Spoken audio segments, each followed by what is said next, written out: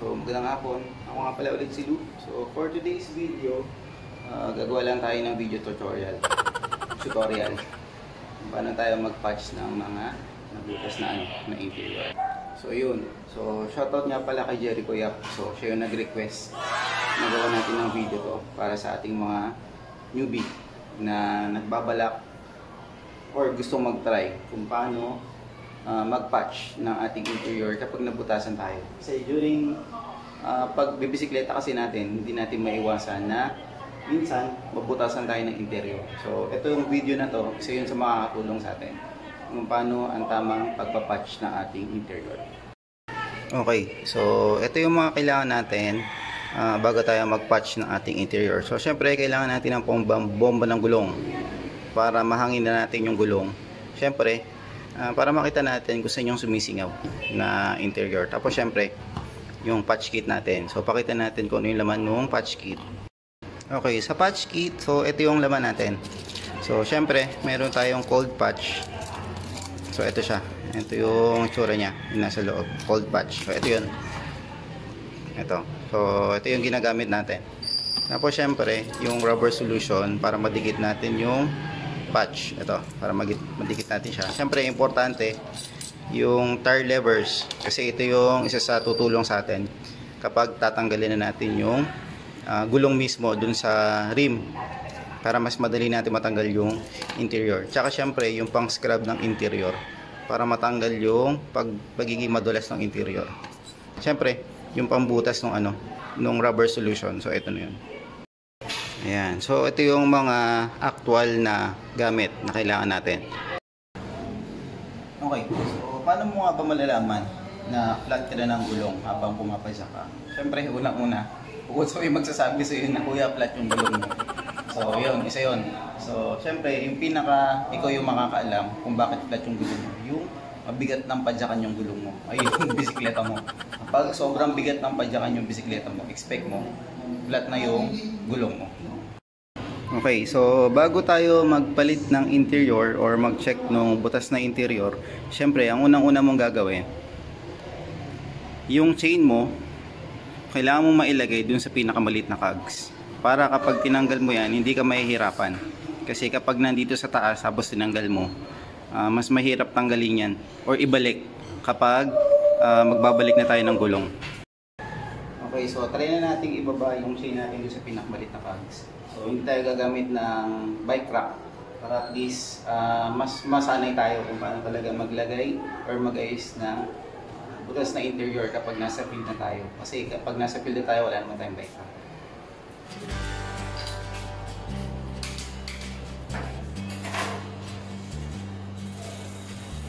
Ayan, so since nailagay na natin yung chain natin din sa pinakamaliit na cogs, so ang next na gagawin natin, syempre ibabaliktad na natin yung bisikleta natin para matanggalan natin tong ating gulong sa ano sa frame. Okay, so since nabaliktad natin, nabaliktad na natin yung ating bisikleta, so ang next na step na gagawin natin, sisingawin natin yung gulong natin. Yung excess air niya kailangan matanggal para mas madali siya matanggal mamaya sa rim. So gamit itong tire lever, pindutin mo lang yung pin para lumambot siya. A few moments later. Okay, so since naka-release tayo, mas mabilis natin matatanggal yung gulong. So tara, Kung next step mo, pag napalawag mo yung gulong, kailangan mo maangat yung RD para mas mabilis mo siyang matanggal yung ating gulong. So ito, angat. Tapos hatak mo lang.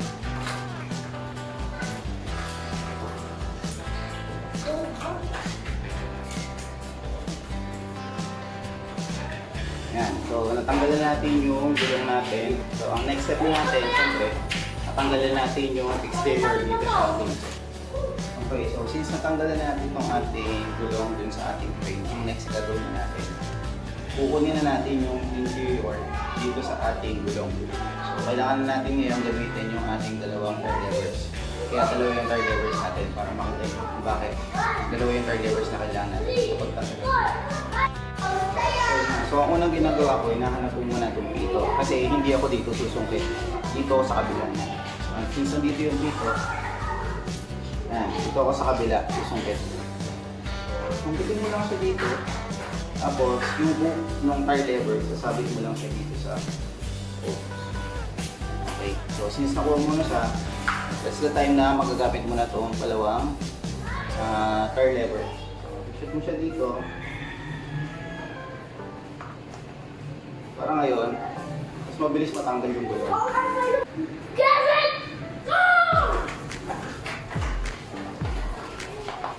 Ayan. So, kung mapapansin nyo, nakapo ka na siya. Ito na siya. So, that's the time na pwede mo na kunin si interior sa loob ng rim. So, make sure lang na ano, ah, wala na talaga yung sobrang hangin kasi nahihirapan ka magtanggal kapag may hangin pa yung ano mo, interior. So, tanggalin mo na lang excess. Kung meron pa natitira ng excess na air. Kung wala na siyang excess air, so that's the time na pwede mo na iputan.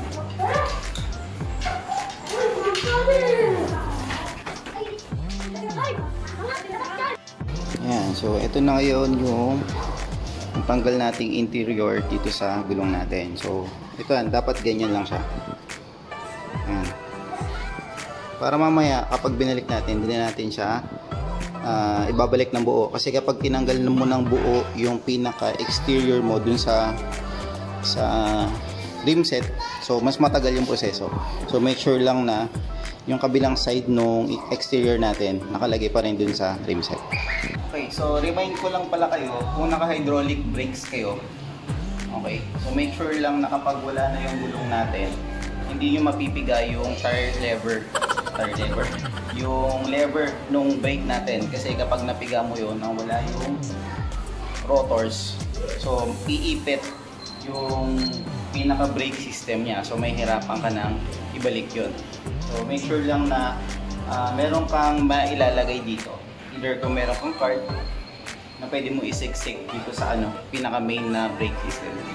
So ayan, ito yung sinasabi kong ano, brake system.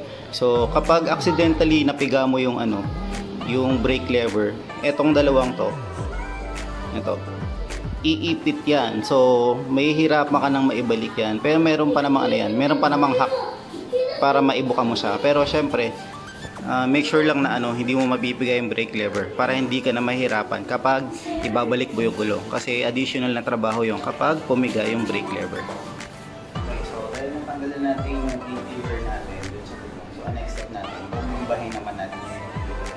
Para makuha natin at mahanap natin sa yung butas na hinahanap natin para hindi tayo mahirapan magpalit. Okay, nabubahan natin siya, ngayon that's the time na hanapin natin yung butas sa gulong. So, pinakamahirap pag nasa field ka na, yung maghanap ng butas. Kasi, um, unang-una, critical yung tubig. Kasi yung tubig na dala mo is pang inom mo lang. So, pwede mo rin naman siyang buhusan para mahanap yung butas ng interior mo. Pero ang best way para mahanap mo yung butas is idikit mo yung interior sa tenga. So, ito na. So, narinig ko na, tsaka naramdaman ko na yung butas interior. So, dito yung butas. Maliit lang siya. So, dahil wala naman tayo sa field, so bakit ako sa inyo yung ano, yung butas dito sa. So ayan, ayun yung butas na nakita natin sa ano sa interior. So ayun yung time na kailangan natin siya ma-patch. So yun yung kailangan natin ma-double check para hindi tayo mahirapan mamaya kapag nag-patch tayo. Okay, so once na nakita natin yung butas dun sa interior so that's the time na gagamitin na natin ito. So, ibabrush natin dun sa part na may butas para mas mabilis tumikit yung ating ah, ano, pandikit sa ating interior.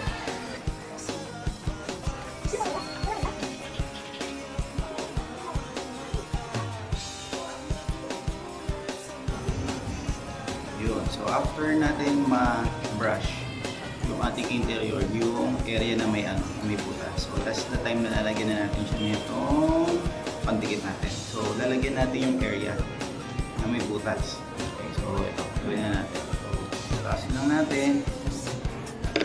Tapos, yung sa may area, lalagyan natin. Make sure lang na ano, medyo malawak yung lalagyan mo. Pwede mo naman tong kamay.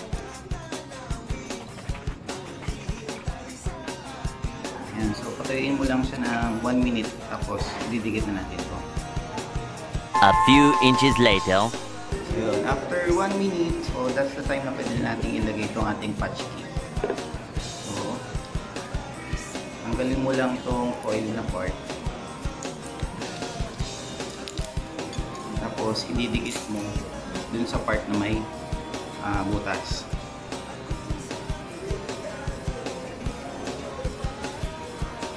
Tapos, kailangan mo itong magpatuyo ng 3 to 5 minutes. Okay, so for better na ano better result, kailangan mo siyang ma-press. Press mo lang siya ng 3 to 5 minutes. So pwede mo na yung maximum na 5 minutes. Much, much, much later. Ayan, so after 3 to 5 minutes, so ako tinapos ko yung 5 minutes. So pwede mo nang i-peel off to. Ayan. Ito kasi ano siya, papel, pero yung iba usually ano, plastic. Ayan. So double check mo lang kung nakadikit na maayos tong ating ano, patch. Tapos ang next step natin dito, syempre bubumbahin natin siya. So after na natin malagyan ng patch, yung butas, so the time na bombahin na ulit natin siya para makita natin kung sinisip pa yung butas. So kung yung dito sa may red part ng patch tip is medyo umaangat siya. Pwede naman ulit lagyan ng ano, yung pandikit para at least ah, dumikit pa rin yung red. Kasi yun yung pinaka-didikit dun sa ating interior.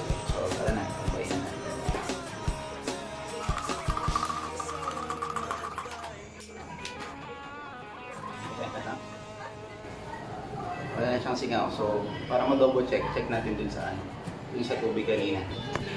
Ayan, so yun yung na-patch natin na butas kanina. So kung mapapansin nyo, wala na siyang singaw. So meaning effective yung naging ano natin, procedure dun sa pagpapatch ng butas. So ang next na step natin, ibabalik na natin yung interior dun sa pinakagulong natin. So bago natin ibalik dun sa gulong, syempre since nabubuhan natin, tanggalin muna natin yung excess na air ulit para hindi tayo mahirapan magpasok dun sa pinaka-exterior.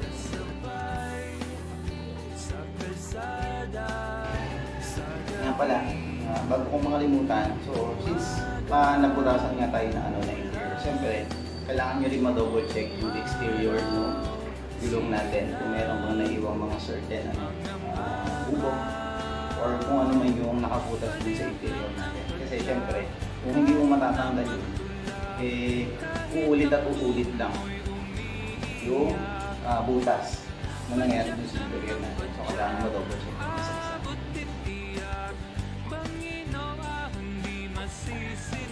Okay, so since inspect na natin yung ating exterior, so that's the time ipapasok na natin yung ating interior. Siyempre, unahin natin itong pito. yung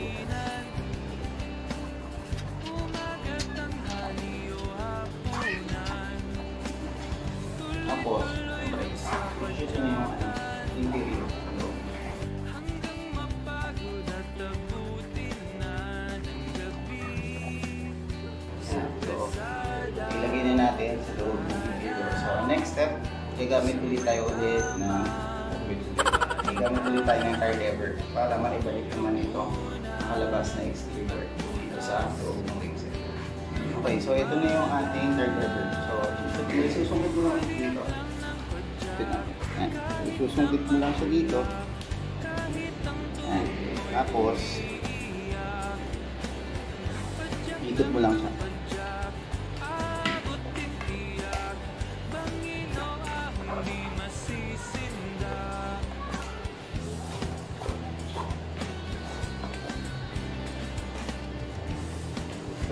Pinakahuli, ito yung may hirap eh. So kailangan mo na yung pangalawang car lever para maibalik yung iba part ng exterior.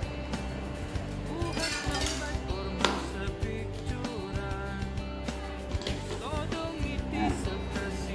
Ito na, ibalik na natin yung gulong natin. So, siyempre, kailangan mo mahatak kung dito. So, next step, siyempre, squeeze mo lang yung exterior para hindi makipit yung interior. so hanginan lang natin siya ng konti para mas papiga natin yung gilid. Kasi mahirap kapag naikot yung interior.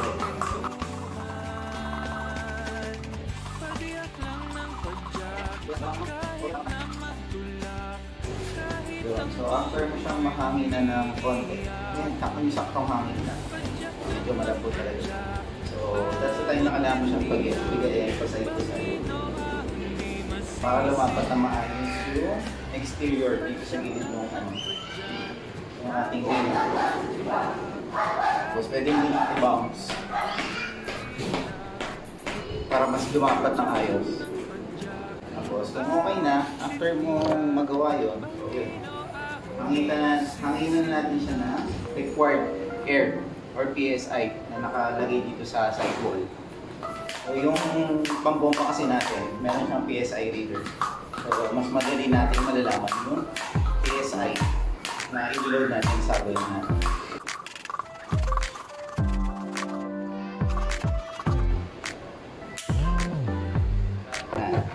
So after natin makuha yung ah, PSI na gusto natin dun sa gulong natin. So na yun. Ayan, tatakbo ko na lang siya ng ano. Valve. Okay, so after natin siyang mahanginan ng ayos, ang next step na natin, syempre, lalagyan na natin yung.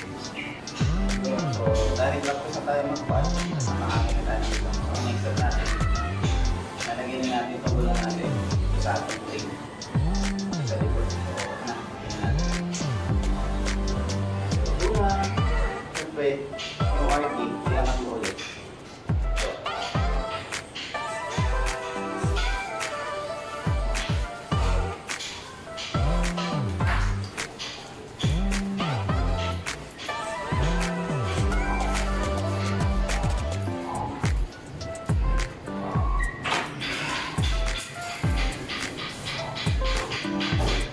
Siguraduhin mo lang nakasok yung rotors mo dun sa brakes.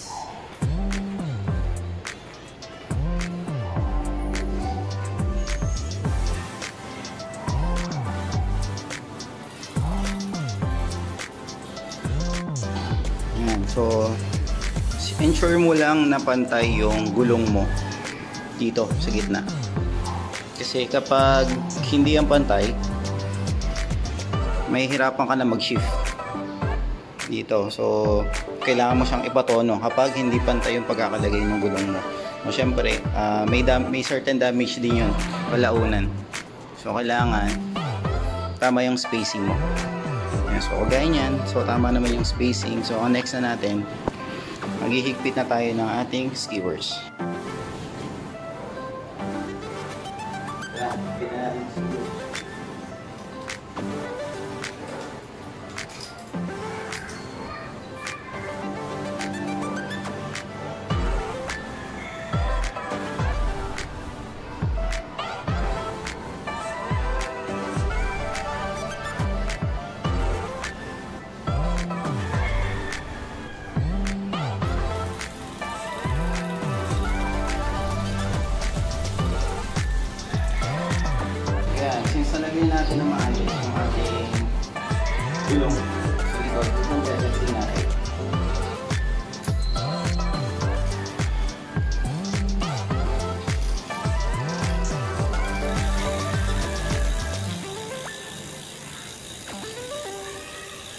Yun. Dahil tapos na tayo mag-patch kit. So, tapos na natin yung ating cut. So, hanggang sa muli. Ride safe and ride on.